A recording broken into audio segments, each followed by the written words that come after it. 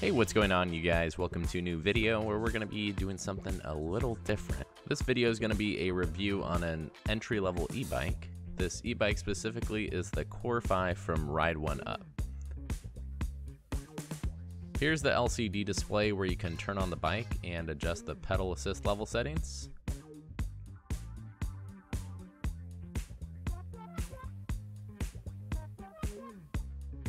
The brakes are really good too. They are Tektro 160 millimeter mechanical disc brakes and it has an electrical cutoff sensor so when you hit the brakes it stops.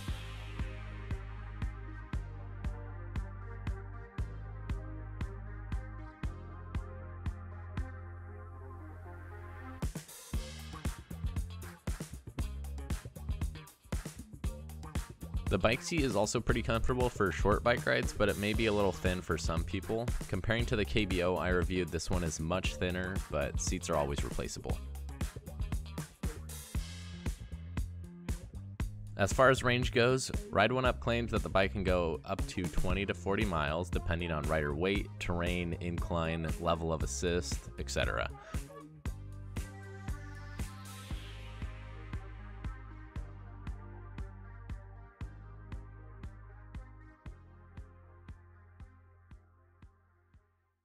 Even though there is no adjustable suspension on this bike, the ride is pretty comfortable, and according to the manufacturer, the frame geometry and components are built for the most comfortable ride ever.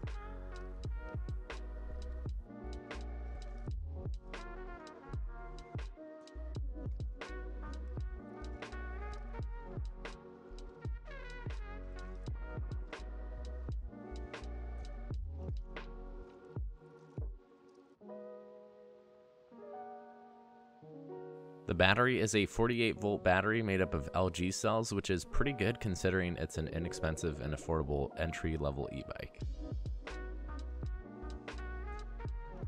Most e-bikes I've seen are class 2 bikes, which only go up to 22 miles an hour, but this one is a class 3 electric bike with a 28 mile per hour max speed with pedal assist and 20 mile per hour throttle speed.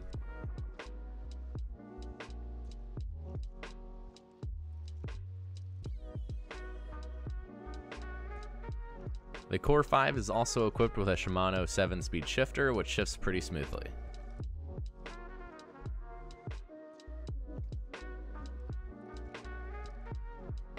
Overall, this bike performs way better than I expected, especially since at its price point you can't find anything that's equipped with so many great options.